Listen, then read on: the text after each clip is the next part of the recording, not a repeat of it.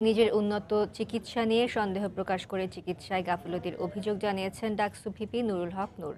ডাকসু ভবনে হামলার পর টানা আট দিন চিকিৎসাধীন থাকার পর দুপুরে ঢাকা মেডিকেল থেকে বের হয়ে এই অভিযোগ করেন তিনি। অন্যদিকে নূরের চিকিৎসা ব্যবস্থায় কোনো গাফিলতি হয়নি বলে দাবি হাসপাতাল পরিচালকের। শারীরিক উন্নতির ফলে সংশ্লিষ্ট ডাক্তারের নির্দেশনায় তাকে রিলিজ দেওয়া হয়েছে বলেও দাবি তার। আমার মাথা ঘুরায় চোখে ঝাপসা দেখি, বাথরুমে গেলে ও উঠে দাঁড়াতে পারি না। এখনও সোজাভাবে হাঁটতে পারি না।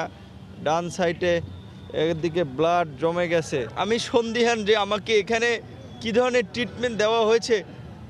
কারণ আমি প্রথম তিন দিনের চেয়ে কিন্তু আমি খারাপের দিকে যাচ্ছি। ভিপি নূরের কথা বলছেন। ওনার যে জায়গায় যেখানে প্রবলেম ছিল ওনার হাতে একটু ব্যথা ছিল অন্য জায়গায় ব্যথা ছিল, সেই জন্য অর্থোপেডিক সার্জন থেকে আরম্ভ করে আমাদের অন্য যারাই প্রয়োজন হয়েছে, সবাই তাকে দেখেছে এবং দেখে তার যেই যেটুকু চিকিৎসা দরকার, সেটুকুই করা হয়েছে। আর ওনাকে তড়িঘড়ি করে বের করে দেওয়ার কোনো সুযোগই নাই।